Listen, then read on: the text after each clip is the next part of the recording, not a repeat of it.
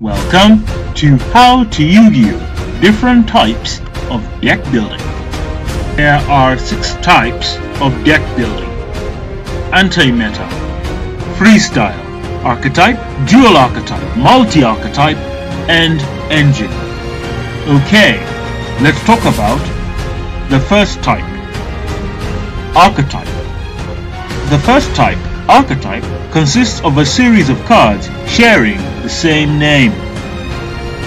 Archetype decks usually follow a linear playstyle. Another note, archetype decks revolve around four things. These four things are 1. Recruiter 2. Searcher 3. Summoner 4.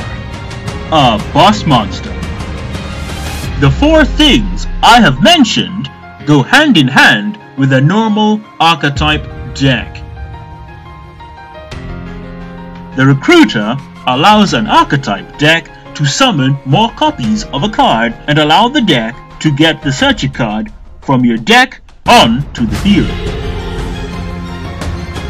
The Searcher allows you, an archetype deck, to get the cards the deck needs to initiate combos and begin field presence as well as maintain it, if already established. The Summoner is the card that usually summons your key monster to initiate the big plays of said archetype. Finally, the Boss Monster. The Boss Monster is the monster in the deck that is the win condition of the archetype deck. Okay, let us talk about the ingredients that makes a good archetype deck. Here is the new list. 1. Recruiter 2. Searcher 3. Summoner 4. Boss Monster 5. Reviver 1. The Recruiter allows an archetype deck to summon more copies of a card and allow the deck to get the Searcher card from your deck onto the field. 2. The Searcher allows you, an archetype deck, to get the cards the deck needs to initiate combos and begin field presence, as well as maintain it, if already established. 3. The Summoner is the card that usually summons your key monster to initiate the big plays of said archetype. 4. Finally, the Boss Monster. The Boss Monster is the monster in the deck that is the win condition of the archetype deck. 5. Reviver. The Reviver, though, is usually a card in an archetype or in some cases a series of cards that allows the revival of monsters and also the retrieval of cards as well in the graveyard, adding it back to the hand or deck. All these actions I have said here is the job of the Reviver. Moving on, let me show you the qualities of a fantastic archetype. 1. Recruiter 2. Searcher 3. Summoner 4. Boss Monster 5. Reviver 6. Sealer 1. The Recruiter allows an archetype deck to summon more copies of a card and allow the deck to get the Searcher card from your deck onto the field. 2. The Searcher allows you, an archetype deck, to get the cards the deck needs to initiate combos and begin field presence as well as maintain it if already established. 3. The Summoner is the card that usually summons your key monster to initiate the big plays of said archetype. 4. Finally, the Boss Monster. The Boss Monster is the monster in the deck that is the win condition of the archetype deck. 5. The Reviver. The Reviver, though, is usually a card in an archetype or in some cases a series of cards that allows the revival of monsters and also the retrieval of cards as well in the graveyard, adding it back to the hand or deck. All these actions I have said here is the job of the Reviver. 6. Sealer. Sealer is the card that seals an aspect of the enemy's plays. The last phase an exceptional archetype deck. 1. Recruiter 2. Searcher 3. Summoner 4. Boss Monster 5. Reviver 6. Sealer 7. Absolute Protection and 8. Reset 1. The Recruiter The Recruiter allows an archetype deck to summon more copies of a card and allow the deck to get the Searcher card from your deck onto the field. 2. The Searcher the Searcher allows you, an archetype deck, to get the cards the deck needs to initiate combos and begin field presence, as well as maintain it, if already established. 3. The Summoner The Summoner is the card that usually summons your key monster to initiate the big plays of said archetype. 4. The Boss Monster Finally, the Boss Monster is the monster in the deck that is the win condition of your archetype deck.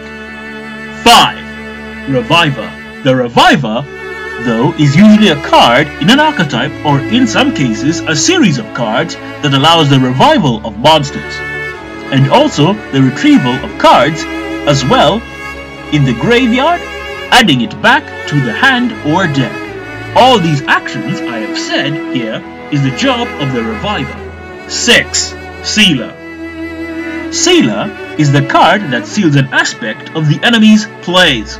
7. Absolute Protection Absolute Protection is the card that protects your cards from effects by your opponent. You can grab this card off a Searcher, Recruiter, and Summoner. 8. Reset Reset essentially can be a series of cards or one particular card in an archetype deck that allows you to redo any play again. Meaning, if your recruiter, for example, got stopped, the reset option resets it and allows you to do it again. The second type of deck, Dual Archetype. Now that you know about archetype decks, what about dual archetype? When you build an archetype deck, you may notice that your archetype deck is weak in one of the four aspects that make a normal archetype deck. For example, we will call this deck A. Deck A may have a good recruiter, semi-decent summoner, a non-existent searcher with a weak boss monster. So, what do you do? You look around at another archetype and you find this, which we will call. Deck B has no recruiter, no summoner, but has a good searcher and a strong boss monster. Let's go into more detail. Deck A Good recruiter, semi-decent summoner, non-existent searcher, and has a weak boss monster.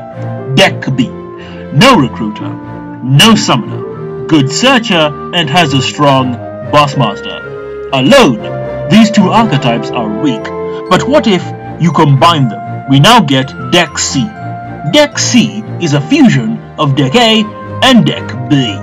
As you can see, Deck C is much stronger than Deck A and Deck B. Deck C has a good recruiter, a semi-decent summoner, a good searcher, plus a strong boss monster. Dual archetype decks can help you as a player to build a deck stronger than the two halves that made it. The third type of deck, multi-archetype. As your journey to build an exceptional archetype deck continues, you discover that the journey to make an exceptional archetype deck is hard. That it is, my friend. But your Yu-Gi-Oh! Master is here to offer you the solution. It's time you went the multi-route. The multi-archetype deck route, that is. We find an archetype. Let's call it Deck D. Deck D is from what we can tell an average deck, but we want to raise its level to be an exceptional archetype deck. What do we do? Our first mission is to strengthen its basic values by, let's say, using another archetype. Let's call it Deck E. We can raise its level to get it to that exceptional range. We decide to add one more archetype. Let's call this one Deck F. After adding deck F, combining it with deck E and a deck D, we get an exceptional archetype deck. But you are asking, what have we actually done? Let's look at the contents of the various decks. Deck D 1. Recruiter Weak 2. Searcher Good 3. Summoner Decent 4. Boss Monster Strong Deck E 1. Recruiter Strong 2. Searcher None 3. Summoner Strong 4. Boss Monster Average Deck F 1. Recruiter None 2. Searcher Strong 3. Summoner Average 4. Boss Monster Weak By combining the decks together, we get a multi-archetype deck, which we will call Deck Mystery. Deck Mystery takes de Deck D's Boss Monster, has Deck E's Recruiter and Summoner, with Deck F's Searcher. All this creates the exceptional archetype deck, Deck Mystery. Remember, raising an archetype's deck level to exceptional is easier by using a lot of decks to cover up the weakness of each other. Bear this in mind when multi-archetype deck building. The fourth type of deck, Engine. Engine is a type of deck that revolves around one or several cards ini initiating a combo piece which leads to big plays. Engine decks are usually combo heavy. That's all really I have to say about this. The fifth type of deck, Anti-Meta. Anti-Meta are usually the decks that counter the current meta decks. Meta means the decks in Yu-Gi-Oh! which are in high ranking in the current tournaments. The sixth type of deck, Freestyle. Freestyle is a deck built of your own imagination. It usually has no theme and just plays the way the creator intends it to play. Freestyle is not a common style of deck building in Yu-Gi-Oh! Though this type of deck is unique, it usually isn't found in the competitive scene.